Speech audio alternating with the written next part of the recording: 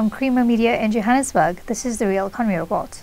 Coal producer and exporter Thungela in February launched a fish breeding facility at the Loskop Dam Nature Reserve in Mpumalanga to mitigate some of the impacts of an uncontrolled release of mine-affected water in the area. Tasneem Bulbulia tells us more.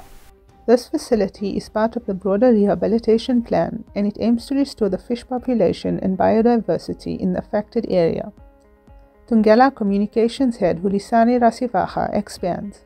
Today we're here to celebrate a fish breeding facility that was commissioned by Thungela in partnership with the MTPA. This fish, breeding facility was commissioned to ensure that we restore the fish um, species that were affected by spillage of mine water that came from our Kromdraai um, colliery, an old colliery that we used to use that was no longer used by Thungela. Investigations showed the contribution of illegal mining activities to the event. It was indicated that damage to the infrastructure, combined with theft of essential water treatment equipment, was the primary cause of the incident. Rasivhaga explains how Thungela approached the issue and the importance of partnerships with the MTPA and other stakeholders as part of this. What we did from the beginning, um, from the time that the spillage happened, we committed to ensuring that we um, rehabilitate and remediate the, the water system following the spillage. And a number of activities have been um, commissioned to ensure that we restore the water, but not just the water and the ecosystem uh, surrounding the, the areas that were impacted. So this partnership was very key to, to us because in as much as Thungela took the responsibility to get um, involved and, and join hands with the MTPA, the MTPA are the specialists really in this field and in support with other stakeholders, we're able to then um, carry out all the activities of the fish breeding facility as well as the restoration of the water system. The impact obviously in the area uh, from an environmental perspective um, was felt by our communities and especially in the farm, farm, farm areas, in the farming spaces, in the agricultural spaces.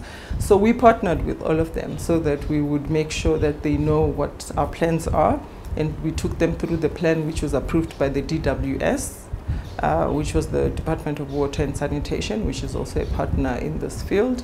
So the, all the projects that were initially um, agreed on as part of the plan have been completed, but the monitoring co continues. So as part of the partnership with the MTPA, we're handing the facility over to them. They will continue carrying out the work that still needs to be done to return to even better uh, conditions of the ecosystem and the environment. There were lots of challenges obviously because it was something that we never anticipated, very unfortunate.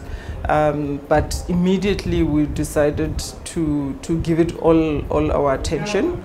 Um, at the time, obviously, we, need to, we needed to get all, all our stakeholders, the relevant stakeholders involved, the DMRE, the DWS, as I mentioned initially, and the MTPA themselves to kind of establish the, the level of the impact um, and, and thereby come together to come up with a plan of rehabilitation. So those partnerships were really key for us because it was something that we wouldn't do on our own.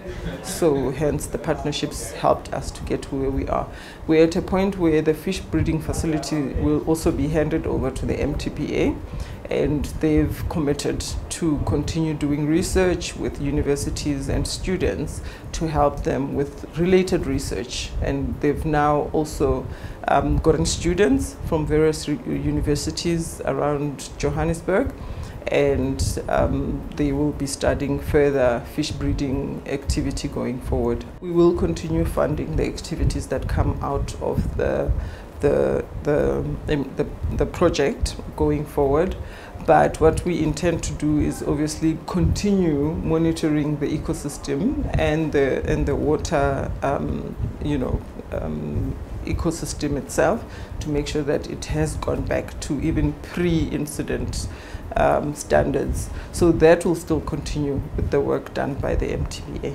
Thungela made a 1.8 million rand capital investment in the facility and has committed a further 1.5 million rand to long-term monitoring of the rehabilitation process, as well as over 5 million rand to address illegal mining. The indoor breeding facility mimics the environment's conditions and has the capacity to breed several types of fish, housing 27 glass aquaria. An external aquarium setup houses larger species ready for reintroduction. The facility is located close to the affected area, and the fish will be bred and released on a continuing basis with ongoing monitoring.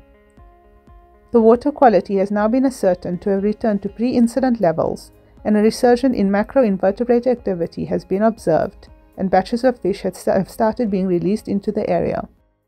That's Creamer Media's Real Economy Report. Join us again next week for more news and insights into South Africa's real economy. And don't forget to listen to the audio version of our Engineering News daily email newsletter.